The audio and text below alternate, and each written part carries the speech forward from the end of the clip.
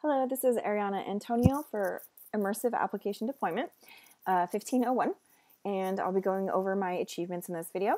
So first of all, the type of service that I plan on using for the achievements will just be parse. Uh, that's what I used last week for the leaderboards, and I'll just continue on that. I'll probably just make an additional uh, table on parse that keeps track of the type of achievements possible and maybe a boolean value for whether or not that user has achieved that achievement.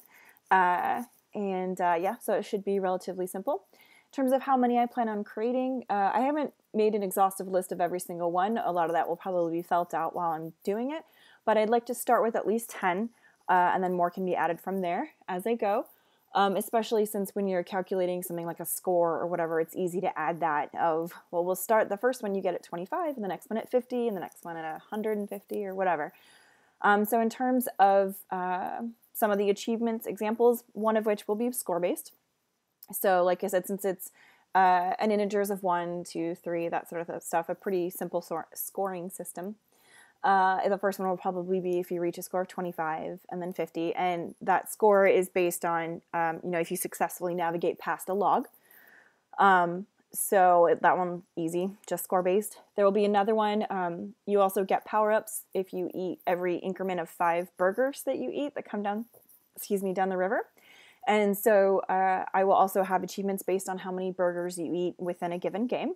So once you eat, you know, say 25 or 30, I'll, I'll probably change it up a little bit than the log, so it's not the exact same numbers. But um, so I'll also have achievements based on the number of burgers you eat. Um, and then also have another one that's uh, if you almost have like a perfect game where uh, you know you can have a collision with a log, it can bump you back towards the bear. So if you get a, a score above a certain amount, I'll have to figure out what that threshold is, um, and you complete the game.